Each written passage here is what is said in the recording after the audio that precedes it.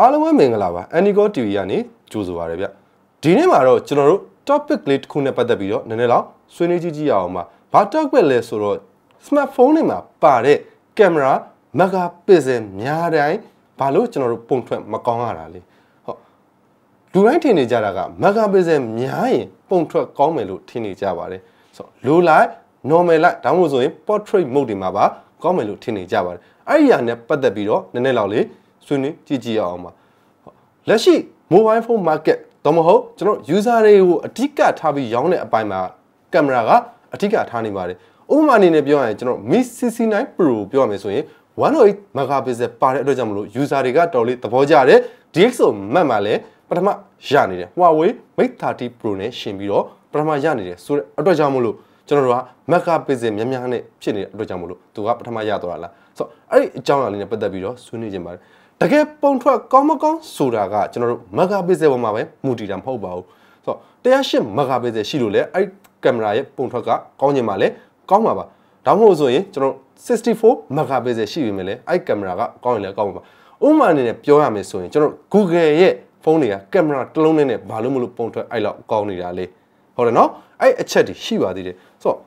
အခြေခံကြတဲ့အချက်လဲလေးတွေနဲ့အရင်ဆုံးဆွေးနွေးကြည့်ကြည့်အောင်ပါဆိုတော့ ဘယ်အစိတ်ပိုင်းနေရများပုံထွက်ကောင်းအောင်ကျွန်တော်တို့ supporting ပေးထားလဲဆိုတာကိုဆွေးနွေးကြည့်ကြအောင်ပထမဆုံးအနေနဲ့ပြောချင်တာကတော့ကျွန်တော်တို့အပါချာလို့ခေါ်တဲ့ app ဆိုတဲ့ function လေးတွေပါဟုတ်ဖုန်းဝယ်တော့မယ်ဆိုရင်လူတိုင်း specification ကိုသိကြမှာပါကြည့်လဲကြည့်ကြမယ်လို့ထင်ပါတယ်ဆိုတော့ GSM Arena မှာဝင်ကြည့်တာပဲဖြစ်ဖြစ်ဒါမှမဟုတ်ဆိုရင်နောက်ကျွန်တော်တို့ review လုပ်တဲ့ video တွေမှာပဲကြည့်ကြည့် online မှာပဲရှာဖက်ဖက်သူတို့က ကင်မရာ megapixel နောက် f ဘလောက်ပါတယ်လဲဆိုတာကိုကြည့်ကြပါတယ်အဲ့ဒီမှာပါတဲ့ f ဆိုတာဘာကိုပြောတာလဲဆိုတော့ကျွန်တော်တို့ကအပချကိုပြောတာပါဆိုတော့အပချအနေနဲ့ပြောမယ်ဆိုရင် f 1.2 f 2.0 f 1.8 1.4เนาะအများများရှိပါတယ်ဆိုတော့ f 1.4 2.4ထိရှိတယ်ပေါ့နော်ဒါကတော့ sample အနေနဲ့ပြောတာပါအဲ့လိုအနေထားမှာအပချကိုကနန်းလိုက်ပြောမယ်ဆိုရင်အပချကနန်း1တို့ နှစ်တို့ဆိုရင်ဒါအလင်းဝင်တာများတယ်လို့ပြောလို့ရပါတယ်ဥပမာအပချ f 1.2ဆိုရင်ကျွန်တော်တို့ကဒါအလင်းဝင်တော့များတယ်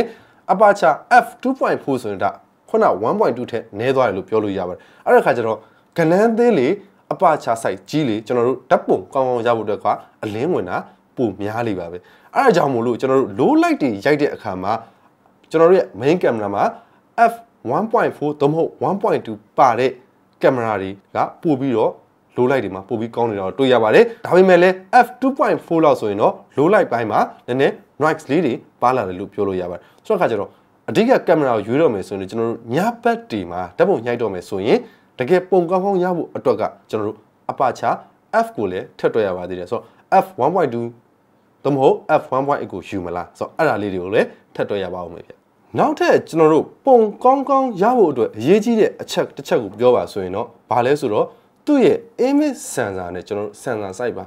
image sensor မကောင်းတာပဲဖြစ်ဖြစ်သို့မဟုတ်ကျွန်တော် sensor site သေးတာပဲဖြစ်ဖြစ်အဲ့လိုအနေထားမျိုးမှာဆိုရင်တော့ကျွန်တော်တို့အပြင်မှာရှိနေတဲ့ပုံကဘလောက်လှလှကျွန်တော်တို့ကင်မရာနဲ့ရိုက်လိုက်တဲ့ပုံကအလှပထွက်လာမှာမဟုတ်ပါဘူး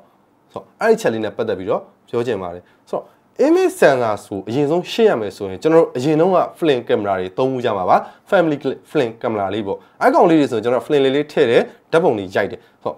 အဲ့ procedure ကိုရှင်းပြမယ်ဆိုရင်ကျွန်တော်တို့ပထမအဦးဆုံးတော့ကျွန်တော်ချိန်လိုက်တယ်ပေါ့နော်ချိန်ပြီးတဲ့အချိန်မှာမှန်ဘလူးတွေကနေဝင်လာတဲ့ပုံရိပ်လေးကဘယ်ကိုသွားလဲဆိုတော့ကျွန်တော်တို့ဒီ image sensor ဘောကိုသွားတယ်အဲ့ဒီ image sensor ကမှအဲ့ဒါတဲ့အလင်းလေးကို तू က image ပုံရိပ်ရအောင် तू ကထုတ်ပေးလိုက်တာပါအဲ့ဒီ sensor လေးပါအခုဖုန်းတွေမှာလည်းကျွန်တော် ချိန်လိုက်တယ်ချိန်လိုက်တဲ့ချိန်မှာကျွန်တော်တို့က